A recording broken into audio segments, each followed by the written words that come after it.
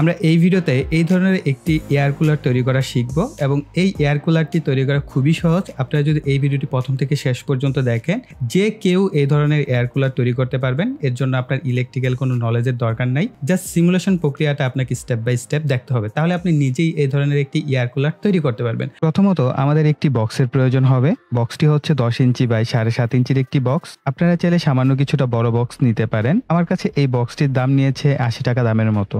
এরপর আমাদের প্রয়োজন হবে এল শেপ টাইপের পিভিসি পাইপের এই পিভিসি পাইপগুলো দুই ইঞ্চির কিছুটা কম, তবে আপনারা চাইলে দুই ইঞ্চি পাইপও ব্যবহার করতে পারবেন। এগুলোর দাম পঁচিশ টাকা বা তিরিশ টাকা দামের মতো আপনার কাছ থেকে নিতে পারেন। এটি একটি এসি ক্যাবিনেট ফ্যান অর্থাৎ সরাসরি দুশো বিশ ভোল্টে এটি চালানো যায়। এগুলো হচ্ছে বারো ভোল্টের ছোট ছোট ক্যাবিনেট ফ্যান চাইলে এই ধরনের দুটি ক্যাবিনেট ফ্যানও আপনারা ব্যবহার করতে পারবেন। অথবা এই ধরনের একটি বারো ভোল্টের ডিসি ক্যাবিনেট ফ্যান ব্যবহার করতে পারেন। এই ধরনের ফ্যানগুলো একশো থেকে দেড়শো টাকা দামের মধ্যে পেয়ে যাবেন। তবে এসি ক্যাবিনেট ফ্যানের বাতাস কিছুটা বেশি হওয়ায় আমি এসি ক্যাবিনেট ফ্যানটি ব্যবহার করব। এই ফ্যানগুলো আপনারা সাড়ে তিনশো টাকা থেকে শুরু করে সাড়ে চারশো টাকা দামের মধ্যে পেয়ে যাবেন।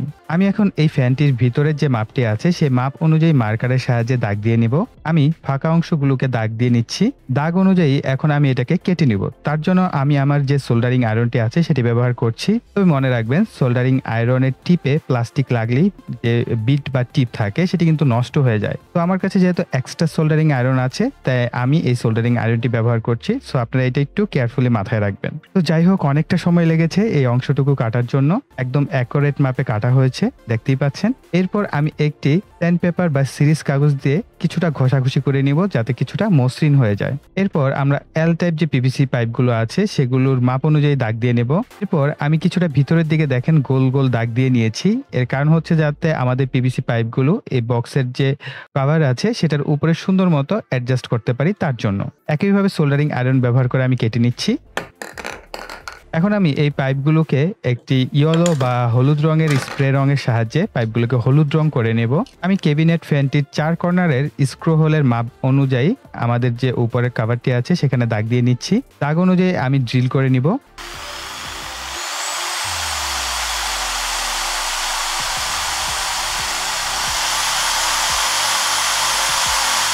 আমি এই ধরনের চারটি স্ক্রু ব্যবহার করব প্যান্টটি উপরের কাভারের সাথে লাগানোর জন্য।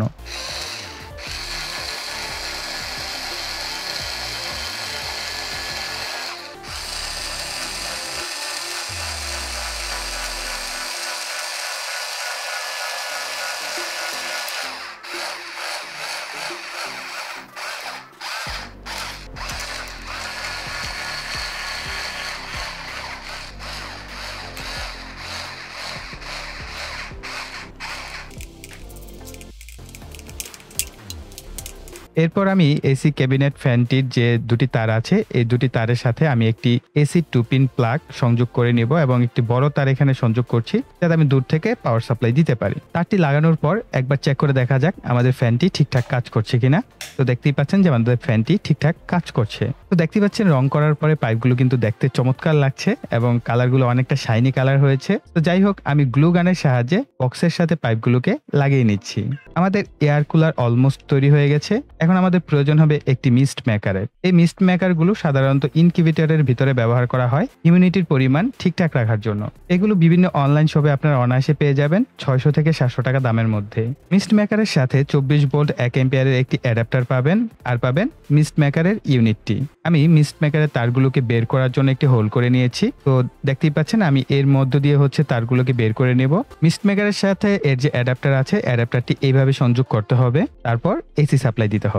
এখন আমি বক্সের মধ্যে পর্যাপ্ত পানি নিয়ে নিচ্ছি। অনেকেই মনে করেন বরফ বা ঠান্ডা পানি ব্যবহার করলে ঠান্ডা ধোয়া পাবেন। কিন্তু বরফ বা ঠান্ডা পানি ব্যবহার করলে মিস্ট মেকার নষ্ট হয়ে যাওয়ার সম্ভাবনা থাকে। তাই নর্মাল পানি ব্যবহার করাটাই আমার মতে বেটার তো যাই হোক, প্রথমে মিস্ট মেকারটি পাওয়ার অন করে দিব। এতে করে মিস্ট মেকারের যে আর জিবি লাইটগুলো সেগুলো আপনারা দেখতে পাচ্ছেন। সো আমার কাছে খুবই চমৎকার লাগে এই লাইটিংগুলো তো কালারফুল জিনিস সবসময় আমার পছন্দ। আর দেখতেই পাচ্ছেন ভিতরের দিকে কিন্তু অলমোস্ট ধোয়া জমতে শুরু করে দিয়েছে। সো আমি কিছুটা ধোয়া জমিয়ে নিচ্ছি।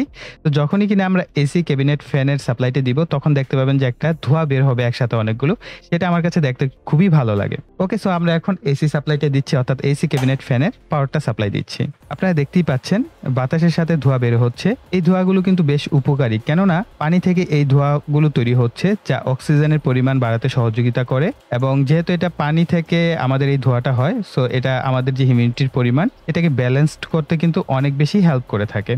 এবং অনেকেই হয়তো ভাবতে পারেন যে, আসলে মিস্ট মেকারের কারণে কি পানি গরম হয়ে যাচ্ছে কিনা? ভাই, আমি অনেক লং টাইম ব্যবহার করে দেখেছি। আমি মোটামুটি বেশ ঠান্ডা বাতাসই এটার মধ্য থেকে পেয়েছি। আচ্ছা এটার যদি একটা এক্সপেরিমেন্ট করা যায়, তাহলে কীরকম হয়? যে আমাদের এই পুরো এয়ার কুলার সিস্টেমটিকে আমরা ডিসি সিস্টেমে কনভার্ট করে ফেলব এবং আমাদের এই পুরো প্রসেসটাকে আমরা জাস্ট একটা পোর্টেবল করব, অর্থাৎ ব্যাটারির মাধ্যমে কারেন্ট চলে গেলে যাতে আমরা এটাকে ব্যবহার করতে পারি, সেই ব্যবস্থা করব। তাহলে কীরকম হয়? সেটা অবশ্যই কমেন্ট সেকশনে লিখবেন। সো তাহলে আমরা পরবর্তী ভিডিও সেই টপিক্সের উপর করব।